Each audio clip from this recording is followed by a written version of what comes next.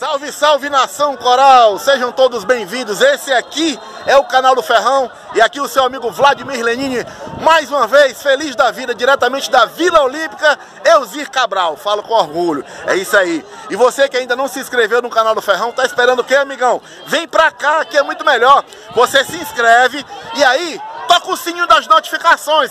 Toda vez que você assistir o vídeo, ó, deixa aquele like que é muito importante para o nosso trabalho. E aí não esquece, compartilha nossos vídeos para que mais pessoas possam acompanhar o nosso ferroviário, não é isso?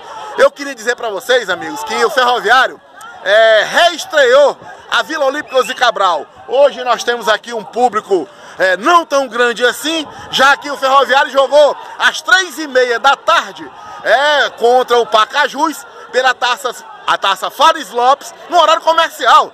Três e meia da tarde, né? Então assim, a gente sabe que muita gente não pôde vir, mas aqueles que puderam, vieram e a gente está aqui acompanhando a vitória, porque o mais importante de tudo foi a vitória por, por 1 a 0 que foi para nós uma goleada. O Ferroviário está sendo remodelado, o Ferroviário está sendo refeito, já que muitos jogadores foram mandados embora e alguns chegaram, né? Então eu queria dizer para vocês que o Ferroviário fez o gol no primeiro tempo com o Isaac Prado, de pênalti. O Ferroviário teve dois jogadores expulsos, assim como o Pacajus também teve dois jogadores expulsos. O jogo não foi de boa qualidade, mas aí a gente espera que no próximo, será no, no, no sábado, três e meia da tarde, lá em Horizonte, no Domingão, a gente espera que nós consigamos fazer um jogo, pelo menos tecnicamente melhor, não é isso? Como eu dizia, amigos, o Ferroviário conseguiu essa vitória, vitória difícil, e tá aqui a torcida, a torcida saindo agora, então todo mundo descendo aqui das arquibancadas. E aí, o que é que você pode dizer desse primeiro jogo aí do Ferroviário, Louro? Rapaz, fraco, muito fraco. Tecnicamente deixou a desejar. Fraco, fraco, fraco, fraco mesmo, viu? O time não dá não, viu? Se não contratar, esse timezinho aí nós não chega nem no mata-mata, viu? É fraco o time, viu?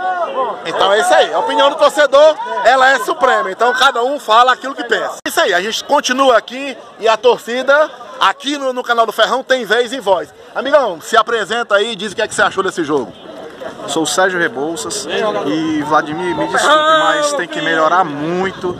Esse time aí não tem condições de chegar a canto nenhum na Fares Lopes não, viu? A gente vai pegar adversário mais forte certo. e tem que melhorar muito.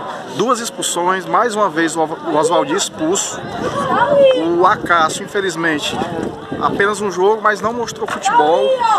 E não sei, tá difícil a situação do Marcelo Veiga, viu? Com a palavra, a comissão técnica, a diretoria, para que a gente possa conseguir aquele algo mais que você tá pedindo. Sem dúvida nenhuma, viu? É isso aí, meu irmão. Então é isso aí, o canal do Ferrão. Um abraço. Um abraço. Bom, a torcida continua aqui conosco, o canal do Ferrão, sempre dando vez e voz. Amigão, se apresenta né? Você que é um grande conhecido da torcida, mas como tem uma geração nova chegando, se apresenta aí e diz o que, é que você achou desse jogo é, de hoje. Pessoal, de boa tarde, né? Tarde de noite já. Meu nome é André, muitas pessoas me conhecem. Assim, o time não foi aquilo que a gente esperou, mas pelo menos ganhou, mostrou vontade, né? Que a gente não estava vendo isso. O time tinha certa qualidade, mas não estava tendo vontade.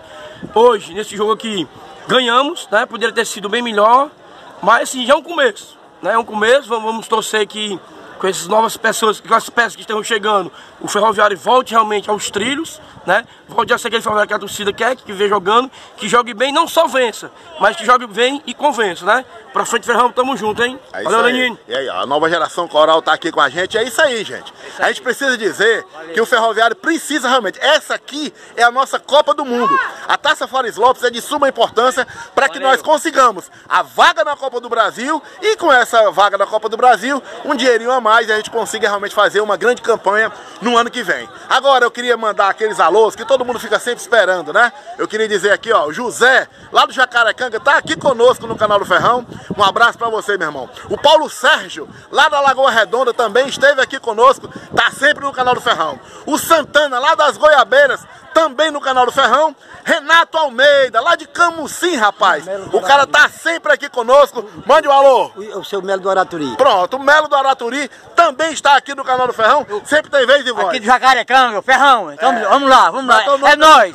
E o Mar, É o isso aí. Ferrão. Então é isso aí, ó. O canal do Ferrão é sempre aquele canal que dá vez e voz aos torcedores. E aí é Ferrão, é Tarcísio Filho, É. de Fortaleza. É isso É. Ferrão, meu filho. Então é isso aí, gente. Agora, como já falei anteriormente, o Ferroviário vai a Horizonte. Esperamos que nós consigamos uma grande vitória para poder essa caminhada realmente fortalecer. E aí a gente sabe que alguma coisa tem que melhorar, porque o time está tentando se reestruturar. Por enquanto, ó, um beijo no coração de vocês.